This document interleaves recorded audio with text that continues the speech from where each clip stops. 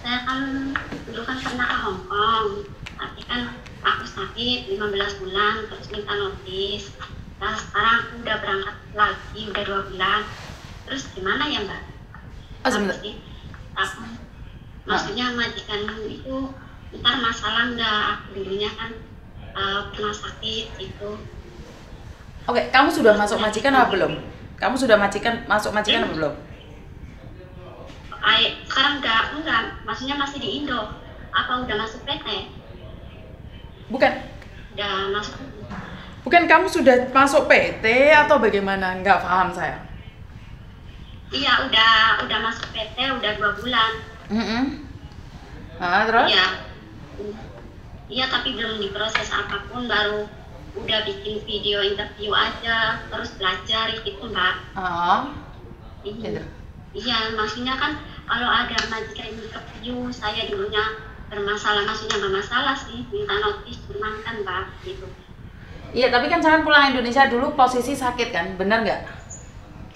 Iya, Ah. ya udah majikan udah tahu, udah dibawa ke dokter, udah terus izin terus udah udah saya pulang sekarang udah saya di Indonesia udah lima tahun lebih lah.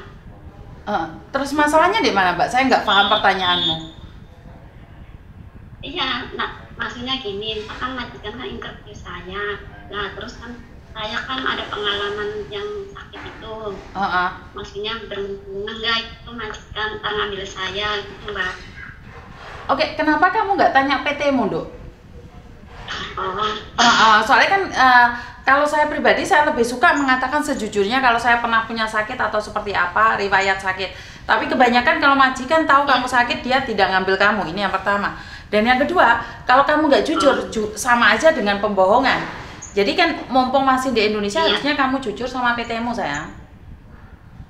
Iya udah jujur sama PT udah, tapi kan ya kata PT-nya kamu kan dulunya sakit, terus kan kamu bahasanya belum bisa, terus kan kamu nggak apa-apa lama nggak apa-apa, itu kan tergantung nasib itu kata saya Mbak. Iya benar, benar itu yang dikatakan PT benar tergantung nasib.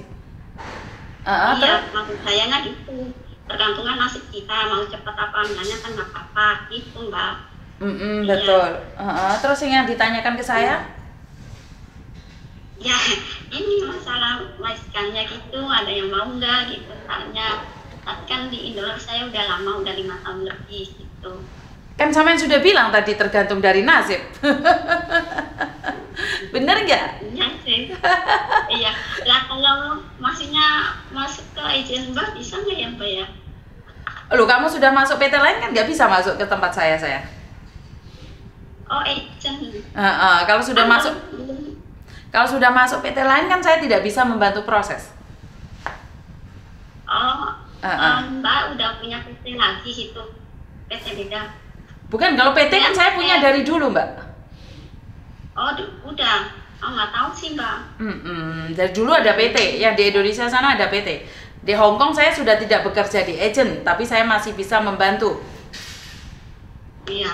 Mm-mm. Nggak tahu sih PT-nya sih soalnya. Dengan mbak nggak tahu.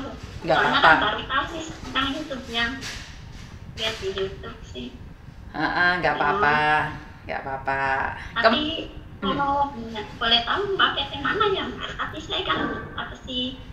Ya maksudnya kalau itu maksudnya pengen tahu akhiran mbak itu PT mana aja boleh masuk ke agentnya mbak. Saya cuma punya aja di Malang sama di Jakarta aja, Mbak.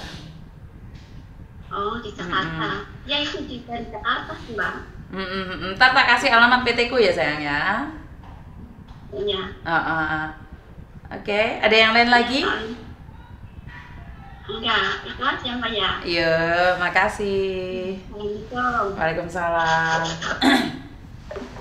Oke buat mbak-mbaknya, akhir-akhir ini saya dapat telepon yang seolah-olah saya tuh tahu masalah kalian, seolah-olah saya tuh sudah bisa menerawang kalian dengan ilmu perdukunan saya. Ya, jadi ilmu perdukunan saya itu tidak sembarangan bisa tembus ya mbak, karena memang tidak semuanya saya tahu.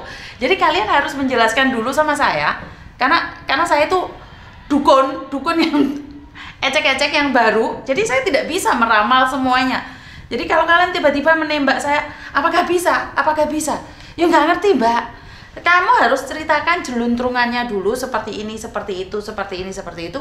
Maka saya bisa ambil kesimpulannya. Jadi apakah saya itu bisa mem memprediksi? Tidak, saya tidak bisa memprediksi. Tapi saya bisa mengira-ngira apa yang terjadi. Jadi dari pengalaman-pengalaman itu saya petik, saya saya ambil uh, hikmahnya. Yang baik saya ambil, yang jelek saya buang.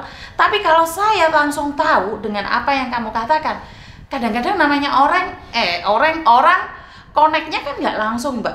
Bener nggak? Jadi jangan mengharapkan saya itu langsung tahu semuanya. Walaupun kalian pernah curhat ke saya saya tidak ingat satu persatu. Karena itu kalau kalian bilang e, Miss Yuni uh, masih ingat video ini nggak? Saya cuma mikir yang mana satu ya karena dari 3000 video itu nggak tahu ya 3000 atau gimana ya Mas Andro bilang sudah 3000 jadi tanya adminnya aja. Jadi Mas Andro clear banget yang mana satu-satu. Saya sendiri tidak begitu tahu. Karena uh, porsi saya cuma buat konten dan selebihnya adalah Mas Andro. Jadi kalau kalian ingin belajar YouTube lebih hebat lagi tuh di Mas Andro. Jadi Mas Andro itu tahu gimana jalannya seperti apa. Tapi yang penting sama saya itu jangan nembak langsung. Kalau kalian nembak langsung pelurunya yang brodolnya ke mana-mana mbak saya tuh nggak begitu paham dan tidak begitu mengerti jelaskan sama saya sekali lagi biar saya dapat uh, poinnya setelah saya dapat poinnya, maka saya bisa memberikan pencerahan. Terus kalian jangan memaksakan. Memaksakan kehendak. Kenapa?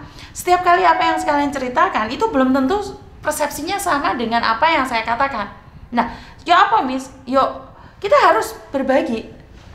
Ya, menurutmu benar belum tentu menurut saya benar. Menurut orang lain benar belum tentu menurut mereka benar. Tapi benar aja tidak cukup benar aja belum tentu bijaksana. Ini saya selalu ulangi berkali-kali.